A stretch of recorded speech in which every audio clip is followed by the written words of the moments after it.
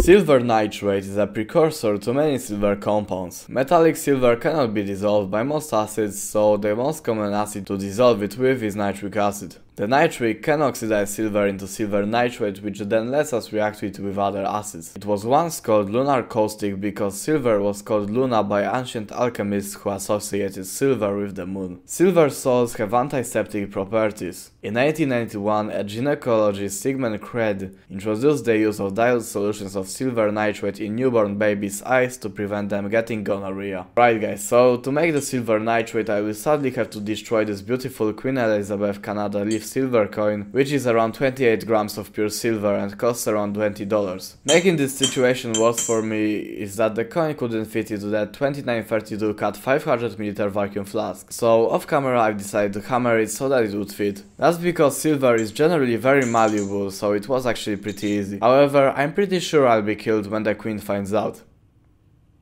Wait a minute.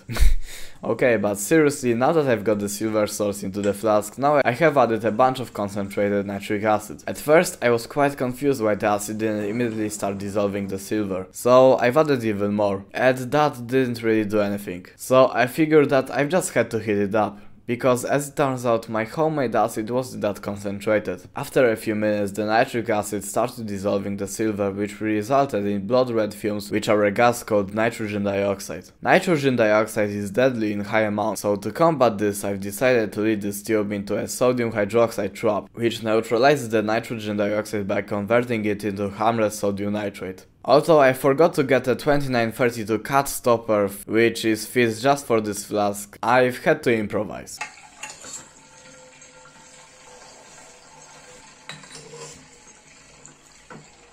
I think this setup is actually pretty funny and I have no idea why. As you can see, as the time progresses, the inside of the flask is getting even more red. That's because the more the acid gets heated up, the stronger it is. Eventually, so much nitrogen dioxide got produced that it overcame a reverse funnel trap, and I've had to reroute the tube out of the window. As the reaction was near the end, crystals of silver nitrate began to form. Amogus. So after the reaction was mostly finished, I've decided to dismantle the apparatus. Here's the flask with the nitrogen dioxide flushed out of it. To separate the solution I've decided to perform a simple gravity filtration. So after the filtration I've let it dry out in my desiccator and here's our final use of silver nitrate. Thanks for watching everyone, this is what I'm currently working on, be sure to subscribe.